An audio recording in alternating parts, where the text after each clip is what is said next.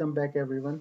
In the previous lecture, we were talking about the various oil and uh, various properties that are needed for the oil and gas pipelines. So we ended up uh, with the pour point in the last lecture. And uh, in this lecture, we will talk about the vapor pressure.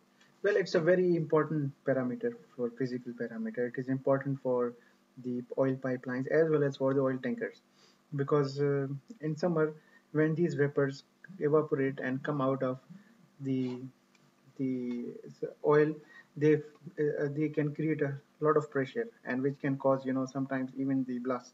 So we have to look at it carefully what is this vapor pressure? And um, we make sure that uh, we do we maintain the pressure above this one so that nothing happens here. So first of all we have to understand what is vapor pressure. In order to understand it let's look at the the simple container and uh, let's look at it. What's going on? Take an example of cola or something. Uh, then let's take this example. Imagine that this is fill up with oil. And uh, if the upper part of this one is bit empty here this part is empty and here is full with water. Now once you shake this container here actually once you shake this container here there are small particles there are very small particles uh, can evaporate here here here here here. The very small uh, they are they will be like a gas. You cannot see them actually but there are very small tiny particles that are accumulated here. Now these small and tiny particles actually together creates a pressure at the, the surface here. And that is called the vapor pressure. So pressure caused by these small droplets vapors which came out of the water or oil or whatever it has. So this vapor pressure is a big problem and I will show you in a video that how this can be a disaster for oil and gas pipeline. So results of what happens when you start studying intermolecular forces and we start making a little bit more of a condensed phase such as solids and liquids you start getting all these unique properties of solids and liquids. Uh, liquids have quite a few unique ones, viscosity, um, surface tension, and one of the more unique ones is vapor pressure. That's a very special case, and that's probably another uh, thing completely. So let's just think about it. If you take water in a container and you allow it to start evaporating, the space above the surface of the water will start getting water molecules. That means it's a gas now, and gases impart pressures. So as that builds up, what's going to happen is these particles floating above the water can go back into the water unless they're whisked away. So, if you put a lid on the container, all the particles are trapped, so the water starts going back into the water phase, or I should say the water vapor goes back in. As this happens, you finally reach a state at which the exiting evaporation rate equals the entering condensation rate, and you reach what we call equilibrium. So when those two rates equal, you establish a constant pressure inside your container. And that pressure is called the vapor pressure of that liquid. In the case of water, you would say it's the vapor pressure of water.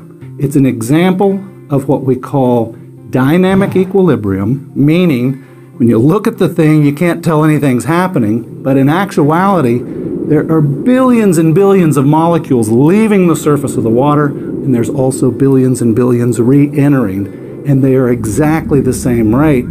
So there's no net change, but you have established what we call a vapor pressure. And that's hopefully a little bit more of a handle for you on what vapor pressure is. We have other things to tell you later about vapor pressure in other videos.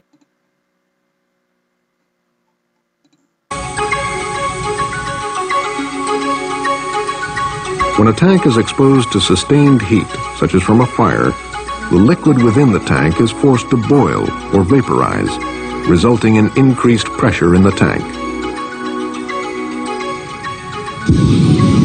To prevent overstressing the tank, the relief device activates, venting the excess pressure. As pressure decreases in the tank, the valve begins to close. With continued heating, pressure again builds, causing the relief valve to reopen.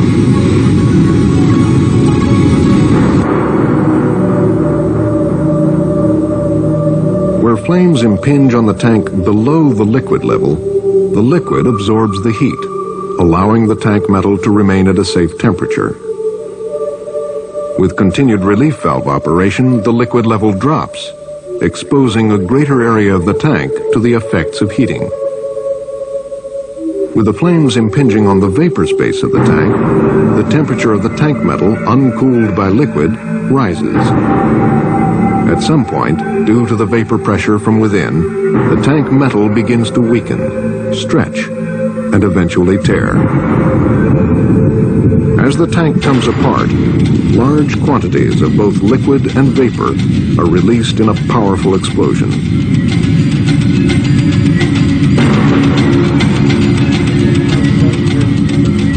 The heat radiated is sufficient to ignite combustibles and cause burns great distances from the explosion.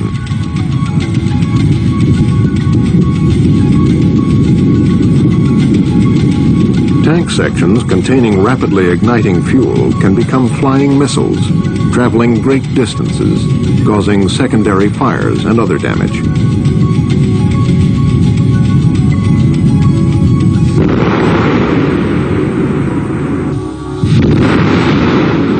It all happens quickly and with little warning.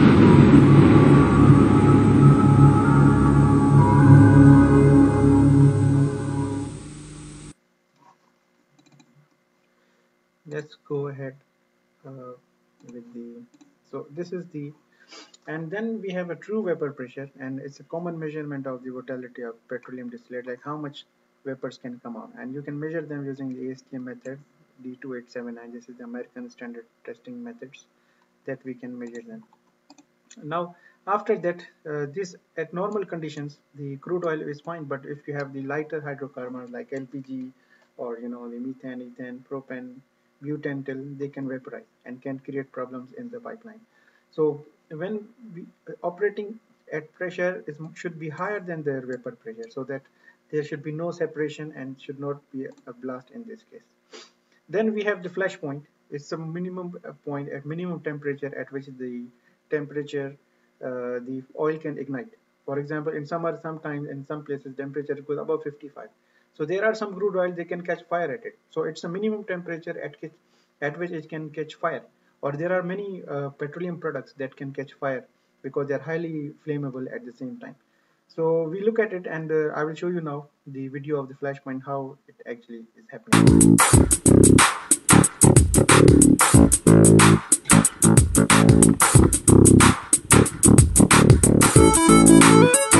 For this test, you're going to need some basic equipment. A metal tin or can, a big bean tin is fine. A piece of plywood or something similar to put the flame out at the end of the test. A digital thermometer and a gas blowtorch of the sort that plumbers use. And of course, a sample of the fuel you want to test. Half fill the can with the fuel sample. Once you've finished that, Put the cap back on and move the sample well away from the test site. Put the thermometer into the fuel. Uh, as you can see, it's at roughly room temperature, 20 degrees at the moment. And pass the flame over the top of the can two or three times slowly. Nothing happened. So put your thermometer into the fuel and use the gas flame to gently heat the sample up. You want it to rise about 5 degrees. So you can see we're at 25 degrees centigrade now.